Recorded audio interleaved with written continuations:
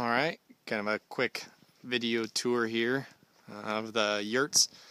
So walking up onto the deck, uh, going through the French doors. This is the 30 foot yurt main living area. So take a step in, uh, fan and pergola or opening dome, tinted dome.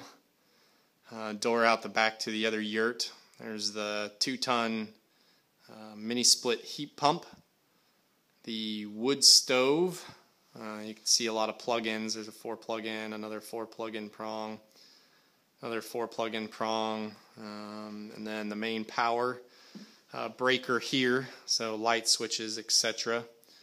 Um, going back back around the yurt.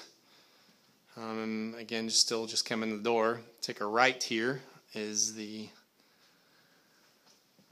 bathroom slash laundry room. So we have a sink and a vanity, um, the heat pump water heater, uh, which is here.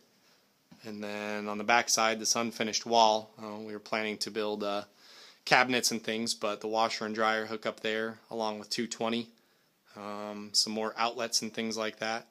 Um, that's about 10 to 12 feet, uh, that length there, but the back side of the appliances. So light switch Coming back out into the main living area. Uh, this is the kitchen, so some lights overhead. This is the, the sink, um, cabinets, fridge, etc. Some windows. Kind of walk around into the kitchen. And there's our refrigerator, um, convection stove oven. Again, these are all about 13, 14 months old now some open cabinets and other cabinetry, lots and lots of storage. Um, super, super quiet.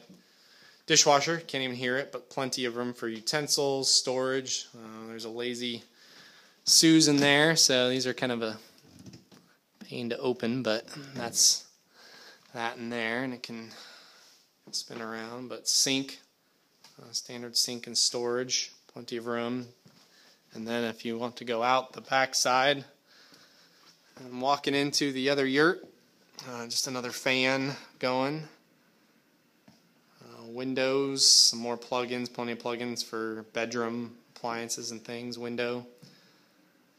Heater, uh, heat pump, mini pump, that's a one ton unit. And uh, electrical to come into it. Going back around.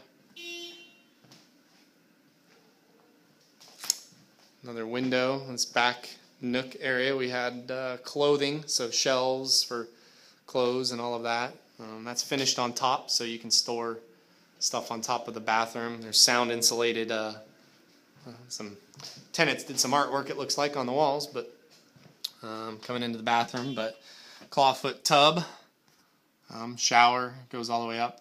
Shower ring, um, stored towels and things here. Composting toilet, uh, which unfortunately they left on the heating element but not the fan from the plugs and it, it melted it. Um, there is another composting toilet that's brand new that is a different, uh, separate unit that sits underneath. Um, if you'd like to use that instead. Another vanity Mednis cabinet, drawers, and then this is another heat pump, portable one. Um, help keep it dry in here after showers or warm up on a cold day. So just a regular heat pump, heat or air conditioning, um, or dehumidified mode. So that explains that. And I'll take one more of the uh, of the outside.